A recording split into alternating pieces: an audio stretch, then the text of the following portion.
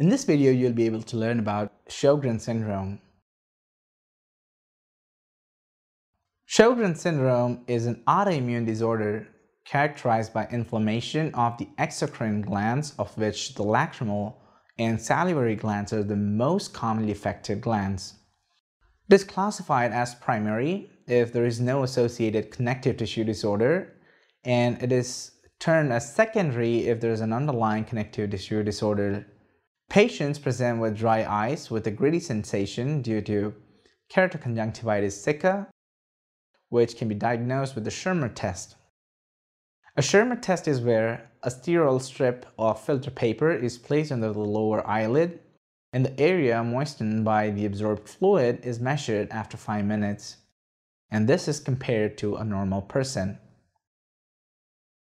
Dry mouth, which is otherwise termed as xerostomia, with dental caries and salivary gland hypertrophy, of which the submandibular gland is most common affected, and dry skin, dysphagia, and thrush can also be seen in patients afflicted with Sjogren syndrome. Extraglandular features like arthritis, Raynaud phenomenon, cutaneous vasculitis, interstitial lung disease can all be present in a subset of patients with severe presentation or severe progression.